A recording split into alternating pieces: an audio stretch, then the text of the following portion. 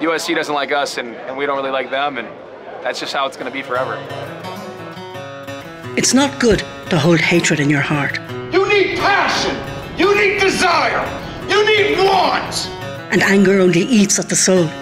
We are Notre Dame, and we play that way tonight against our rival, USC.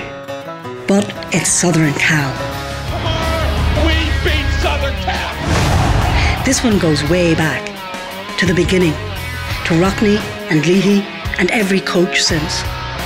One man to beat, 20, 15, 10. You don't forget these games. The stompings, the upsets, the moments you just can't let go. This isn't some friendly match on the turf. This is where national champions are decided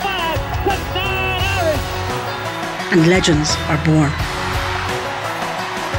It's the greatest intersectional rivalry in the country. And there's not a drop of love lost with these Golden Boys. This is Notre Dame versus Southern Cal. Give 'em hell, Irish.